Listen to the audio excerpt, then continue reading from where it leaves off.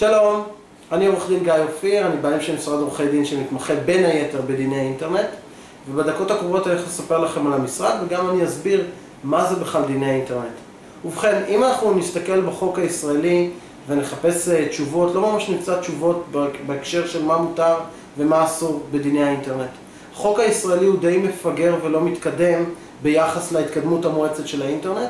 זה נכון גם בחו"ל, אבל בישראל זה נכון ביתר שאת. לכן העבודה שלנו, עורכי הדין שמתמחים בדיני אינטרנט, זה בעצם ללמוד הרבה פעמים את הדינים ואת הפסיקות בחו"ל, אנחנו עוקבים אחרי הפסיקה בארצות הברית, בניו זילנד, באוסטרליה, באיחוד האירופי, ואנחנו עושים היקש למשפט הישראלי כדי לשכנע את השופט שיקבל את העמדה שהכי טובה עבור הלקוח שלנו.